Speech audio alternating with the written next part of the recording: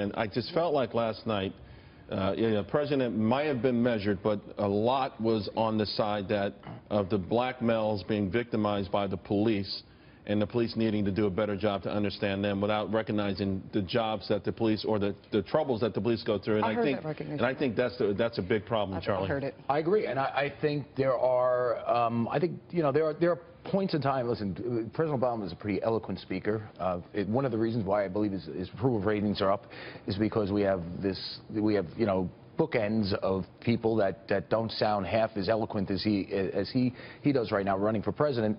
Uh, but he's tone deaf on certain issues. Uh, I believe he's tone deaf on, on terrorism. I mean, you know, he refuses to call it what it is, you know, Islamic terrorism or whatever the uh, radical Islamic terrorism.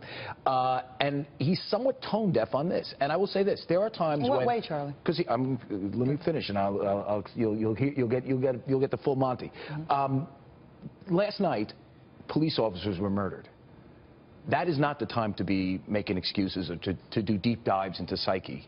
That's a time to say, law enforcement's under attack, and we're not going to have any more of this. Uh, and to justify it in any other way is the wrong is wrong when timing. was it justified? I must have missed it. I'm not saying- justified? No, but if he's looking for root causes and, and, and hinting at root causes. When was he hinting at root Well, he didn't do that last night? I didn't hear that. No, I- I, I- heard him I- lay out two very You- you didn't- even-handed you Well, he had a arguments. speech before any police Right. officers died last night. Right, I heard two But- but- even-handed arguments thi- around This is it. what I think, and I think I'll, I think the answer, and I, of course I can't speak completely for President Obama, but I think the answer is that President Obama still perceives uh, injustices from yesteryear as being unresolved. Well, he's a And- progressive. I mean, right, you- we right. know that. I mean, so, listen, you would so not he have- thinks that if, if, if we somehow start to, to, to, to label Listen. every Muslim as a terrorist, uh, or even use that term, then it's going to be it's going to be broadened out into something more nefarious. Pre- President Obama went to Reverend Wright's church. I mean, let's be clear here. This is a progressive. He has What does the fact that he's a progressive, though, Charlie, respectfully, have to do with anything about lot. the fact that law enforcement, who are progressives, conservatives, Republicans, Democrats, black, white, and purple across this country, now have to walk around with angst, fear, and anxiety because around the, at top- presumptions because the guy at the- around their because safety? the guy at the top embraces Black Lives Matter. The guy at the top also He embra- embraces, he black- embraces that he blue lives matter he- too, and he, he- said no, that. He, He, embraces- specifically he said blue lives matter and black lives he matter.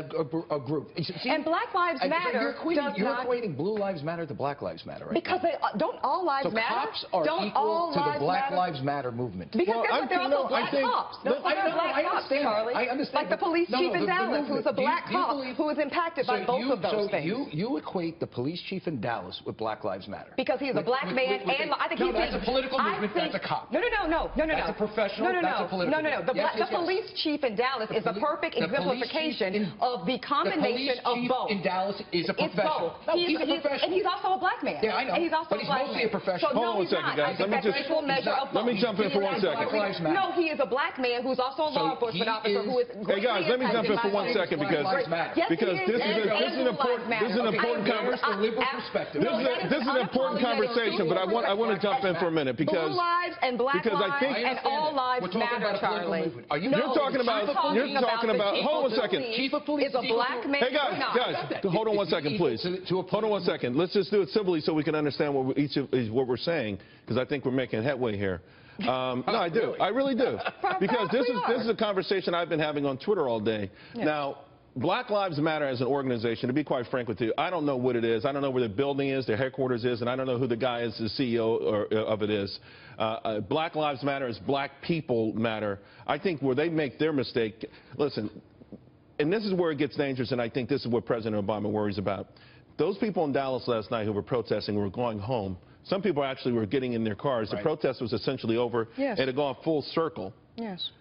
They came out to peacefully protest some incidents that they thought were unjust. Which is fine. Right, and I fear, and and, I, I don't want to, I don't want to, I don't want to label those Right. people in that And cops- protest cops, Yes. as, as terrorists, them. as Yes, terrorists, which, which is Right. which Yes. is starting, which is happening on, on the internet, and I'm worried about that, and, and also the notion that hey, that, you know, they shouldn't have rights to voice their opinions, but when the president doesn't come out and say all lives matter, police lives matter. I heard him say that last I, night. I just haven't I'm heard him say He enough. Eboni, I'll be honest with you. I, and I, black I'll be honest with you. I have not heard President Well, Obama say this. You're enough. entitled to it, but I heard it personally.